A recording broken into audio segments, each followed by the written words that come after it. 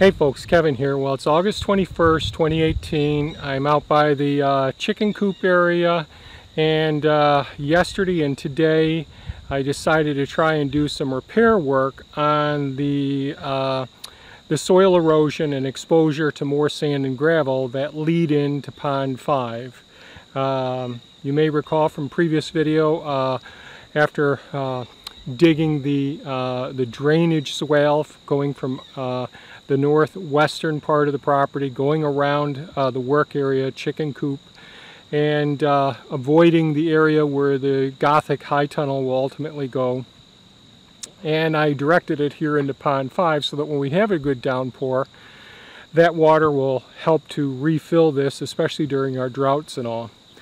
And after digging that out, I didn't have a chance to compact it, and uh, and we got about three inches. Well, we got about 2.66 inches of rain that came down pretty suddenly and it, and it eroded a tremendous area here going into Pond 5 where I'm standing now.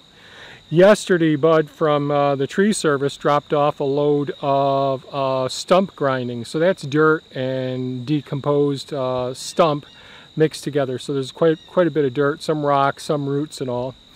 And so I decided to use that. So I went ahead, brought the excavator down here, Bumblebee, went ahead and packed that in really, really well into the areas that were very, very eroded.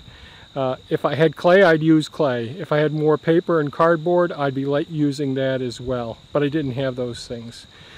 Then after uh, getting that material uh, packed down into the area that was eroded, the next thing I did do was take the uh, uh the excavator, Bumblebee, and uh, Optimus Prime, the front end loader, and go around to the big stone pile and go to the area that we have big flat rocks. I'm going to walk down this, this spillway here.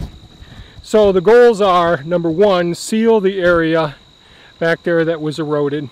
Number two, uh, try and uh, pacify the water and allow uh, sediment to work its way in between the rocks and further seal this area. And then ultimately get some, uh, some foliage to grow, both aquatic down below and some uh, terrestrial plants up above up there as well. Now it's just starting to rain now, so I'm stopping for right now. I may come back to it if, if, the, if the rain lets up. And what I'll do is I'll put more rocks, put another layer. But the top layer up there is about five foot thick of, uh, mostly round stones. On the very bottom down here I used some big flat stones that I was going to use for another water feature, but I placed those on top of the, uh, the patch material, the, the stump grindings. And then I started working my way up tier by tier. So what will follow will be a little bit of GoPro footage, slow motion, or time lapse rather, of me uh, putting this up last night and then starting again today and getting it up to this point uh, uh so far.